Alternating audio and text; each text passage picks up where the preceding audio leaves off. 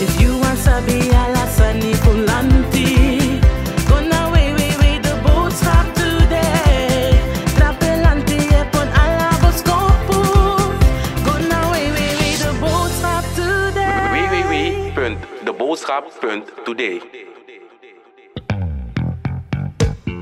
Onverlaten dragen zand vuilstortplaats Coroni weg.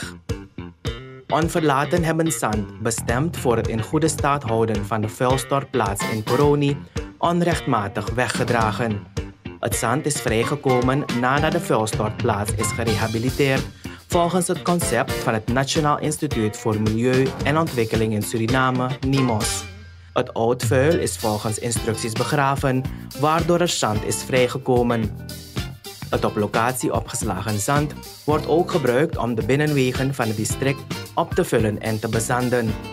Deze vandalen schijnen het belang van het district nog steeds aan hun laarzen te lappen door dit zand en schelpen weg te dragen, zegt districtscommissaris van Coroni Remy Tarnadi verontwaardigd.